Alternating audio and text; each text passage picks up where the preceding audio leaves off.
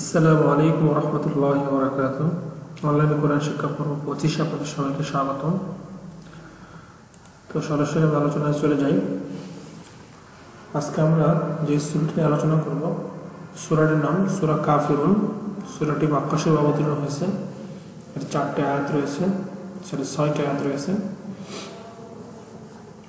তো প্রত্যেকটা টিউটোরিয়াল আগে আমি যে কথাটা বলি, সেটা হলো, প্রত্যেকটা সুরা আলোচনার পূর্বে আমি কথাটা বলে থাকি।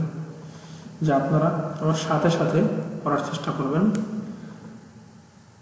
তাতে করে আপনাদের সুবিধা হবে এবং শেখাটা অনেক সহজ হবে তাহলে চলুন শুরু করা যাক بسم الله الرحمن الرحيم قل يا أيها الكافرون كبلم পেশ قل ইয়া খানা জবর ইয়া হামজা ইয়া জবর আই হা আল হা লাম জবর হাল قل يا أيها كاب خرا زبر كا فا في را بشرو نون زبرنا كافرون قل يا যেহেতু খারা জবরের পরে হরকতে হামজা এসেছে জন্য তেল টানা পেটা মধ্যে মুনফাসিল قل يا أيها الكافرون كا أكلتان যেহেতু খারা যাবর কাফিরুনা এসে পরে রজমালা ওয়াও একলেপ টান হবে আর এখানে থামলে তিন আলিফ হবে কিরকম হবে قل يا أيها الكافرون لا أعبد ما تعبدون. لام ألف زبر لا. همزة عين زبر أع با بجبو دل بجدو لا أعبد. ميم ألف زبر ما. تا عين زبر تع با بجبو دل بجدو نون زبر ما تعبدون. লা, জবরের পরে খালি আলিফ এক আলিফ টান এরপরে আবার ওর কথা হামজা এই জন্য তিন আলিফ টান, মধ্যে মুনফাসিল। আবুদু, লা মা, এক জবরের পরে খালি আলিফ মধ্য তবাই তাবুদু, দাল অবিশদু এসে বড় জবর অব, এক আলিফ টান হার মধ্য হরফ মধ্য আলিফ, নুন জবর না। বুদুন আলিফ থামি তাহলে কি হবে মা তাবুদুন তিন আলিফ টান মধ্যে আরজি এখানেও তিন আলিফ টান মধ্যে আরজি ولا أنتم عابدون ما أعبد واو زبر و لم ألف زبر لا ولا حمزة نون زبر أن تابنبشتم أنتم. عن كرلو رعا بازر بي دل أقشدو ننزبن عابدون.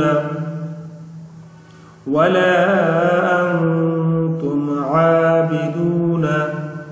إم ألزبر ما زبر أع با بشدو دل بشدو ما أعبدو. ولا জবরের পরে কালি আলিফ এবং তারপরে আলিফ যেন মধ্যে মুনফাসির তিন আলিফ টান হবে। ওয়ালা আং, আংখানে গুণ্য হবে, কারণ অনুসাকেন্দ্রের পরে। তা আসছে ইকফার হরফ আং তুম একালিফ টান মদত ভাই খারা জবর। আ, আবিদুনা। পেশের পরে দশজমাল বাবা আসে যেন একালিফ টান হবে। ওয়ালা আং তুম আবিদুনা। মা জবরের পরে খালি আলিফ এবং তারপরে এবার আলিফ, এজন্য জবর পরে খালি আলিফ মাদ্র হরফ, এবার আবার আলিফ, এজন্য তেল আলিফ টান হবে মধ্যে মুনফাসিল। মা আবুদু। থামলে কি হবে? এই তালের উপরে যে পেস্টটা আছে সেটি জজবর হবে। মা আবুদু। ওয়ালা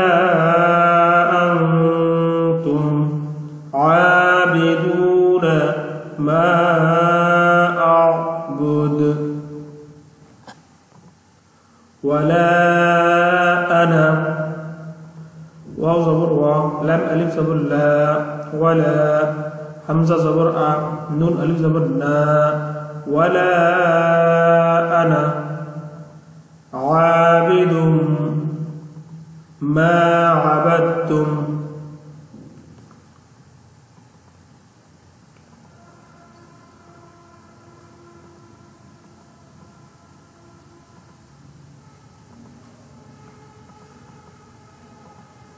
عين ألف زبر ع با زير بي دال ميم دوي پیش دوم عابد ميم ألف زبر ما عين با عين زبر ع با دال با تا زبر با تا ميم پیش دوم ما عبدتم ولا أنا عابد ما عبدتم ولا জবরের পরে খালি লিখ এবং তারপরে লিপটান আনা এখানে একটি প্রশ্ন যে আনায় কেন টান দিলাম না? তো এ ব্যাপারে আনায় সব ক্ষেত্রে টান হবে না। আনা বা এরকম চারটে বিষয় আছে। আনার পরে চারটা জায়গায় শুধুমাত্র টান হয়। আর আনায় কোনো আনাই টান হবে না। এরকম একটা নিয়ম আছে। তো এই বিষয়টা আমার ভালোভাবে জানা নেই। তো এই আনায় টান হবে না। এখানটা খেয়াল রাখুন। বেদুম আইন জবরের পরে খালি আলিফ। অর্থাৎ খেয়াল রাখতে হবে যে নুনের পরে যদি খালি আলিফ হয়, অর্থাৎ নুনের উপর জবরের পরে খালি আলিফ হয়, হলেও সব জায়গায় টান হবে না। কিছু কিছু জায়গায় টান হবে এবং এই জায়গাটা এমন একটি জায়গা যেখানে টান হবে না। ওয়ালা আনা আবিদুম। দুম এখানে গণ্য হবে, কারণ তানবিনের পরে মিম আসে ঈদগামের হরফ। আবিদুম মিম জবর মা একালিফ টান হবে মধ্যে তবাই মা আবাদতুম, আবাদ কে ডালের সাথে উচ্চারিত না হয়, সরাসরি তার সাথে উচ্চারিত হয়েছে। কারণ যদি জজমের পরে তাসদিদ থাকে, তাহলে জজমের উচ্চারণটা হবে না বা জজমের সাথে উচ্চারিত হবে না। জজমকে ওভারটেক করে বা জজম কে না পড়ে পরবর্তী তাসদিদি থাকে, সেই তাসদিদের সাথে উচ্চারিত হবে। এখানে একই হয়েছে, এরকমই হয়েছে যে তালের সাথে তালের সাথে বার উচ্চারণ না হয়, এই তায়ের সাথে হয়েছে। তাহলে এরকম হয়েছে।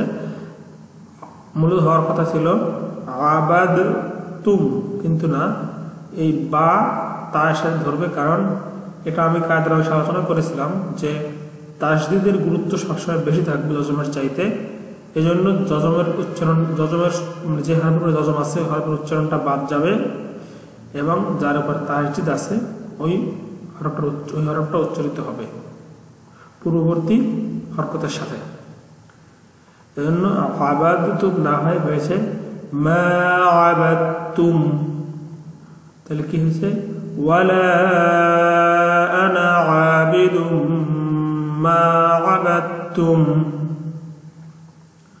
ولا أنتم عابدون ما أعبد ولا এই ওলা এই ওলা একই রকম মধ্যে মুনফাসিল আনতুম নুন সাকিদের পরে এক হরফ আনতুম আবিদুনা খারা জবর দাল পেশ দু পেশের পরে জমলা অ মধ্য তবাই মদের হরফ মা আবুদ জবর পরে খালি আলিফ এবং তারপর আবার আলিফ এই জন্য তিন রিপ্রান মধ্যে মুনফাসিল আবুদ ছিল অক্ফ করার কারণে আবুদ ولا أنتم عابدون ما أعبد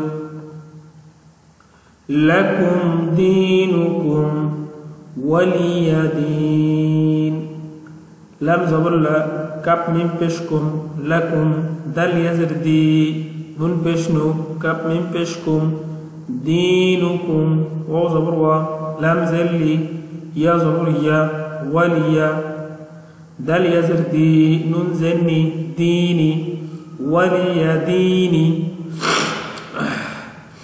دينكم لكم دينكم زر بغلولا يا مادر حروف اكتبتان ولي ديني জেরের পরে তোমরা ইয়া মদের হরফ থামি তাহলে দিন তেলে টান হবে মধ্যে আরজি লাকুম দিনুকুম ওয়ালিয়াদিন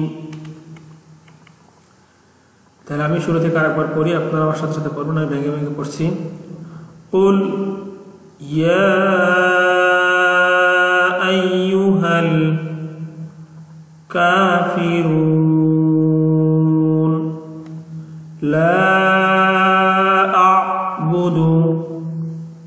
ما تعبدون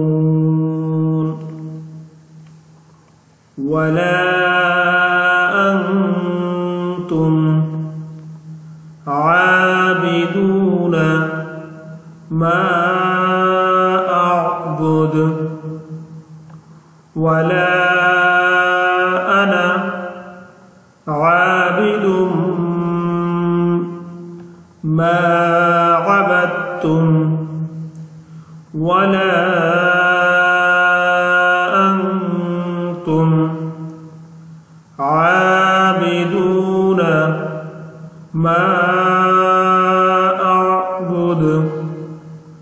لكم دينكم ولي دين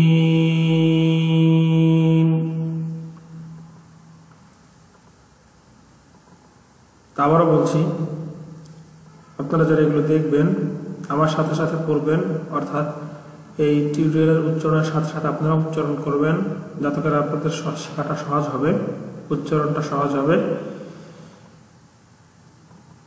তো সবাই ভালো থাকবেন এবং পরবর্তী টিউটোরিয়াল দেখার আমন্ত্রণ জানিয়ে আজকে এখানেই শেষ করছি।